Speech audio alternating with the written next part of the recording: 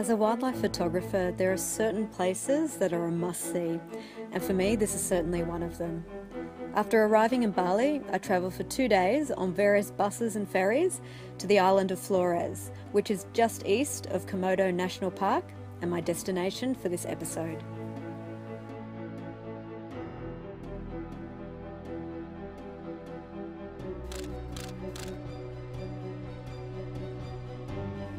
When you look into their eyes, they really look back at you.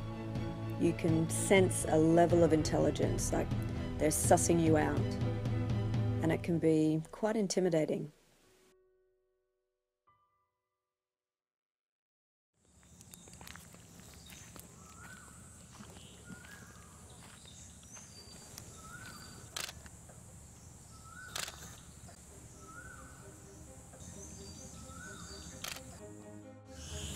So I'm on Komodo Island in Indonesia, and uh, obviously in front of me I've got a stunning Komodo dragon.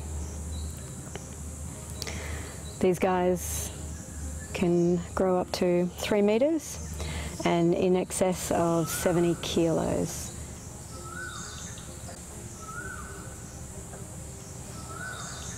You can just sense the strength and they're such an immense animal. And surprisingly calm and patient. It's as if they, they're well aware of their own strength and they don't need to prove it. Absolutely gorgeous. And I'm lucky to be surrounded by two at the moment, one far off behind me and this one here. Pretty relaxed. No doubt a little more relaxed than myself.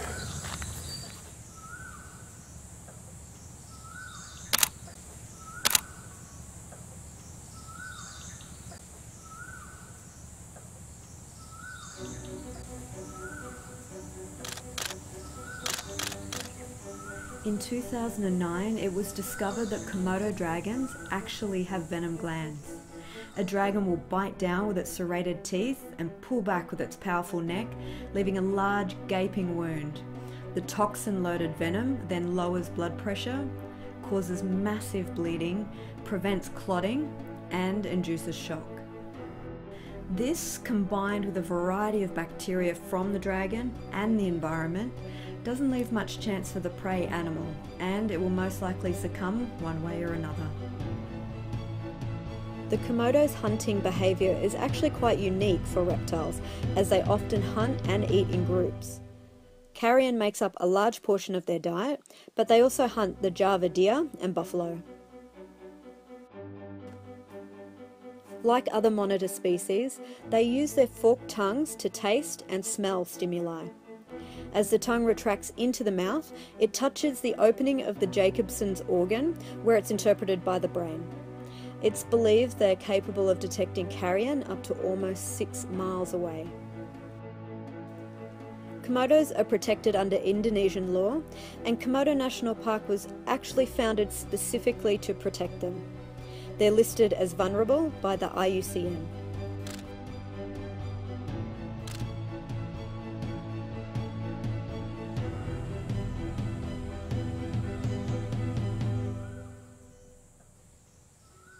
I wanted to capture images from a unique perspective, as well as get up close and personal.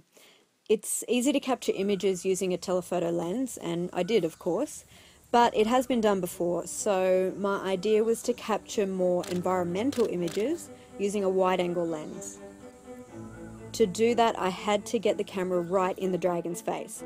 That's not exactly something you want to do with a wild Komodo dragon. So I designed what I call the Dragon Rig, which I controlled using a remote trigger.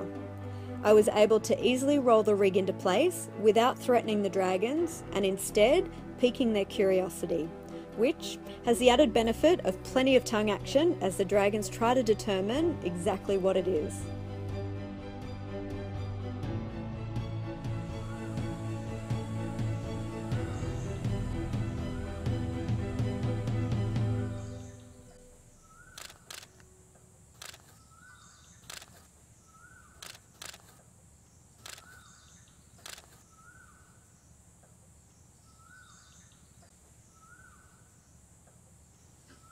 I've been a reptile lover since I was a little girl.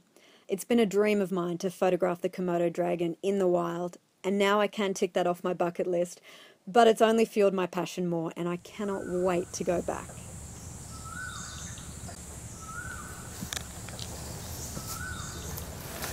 That's an impressive animal.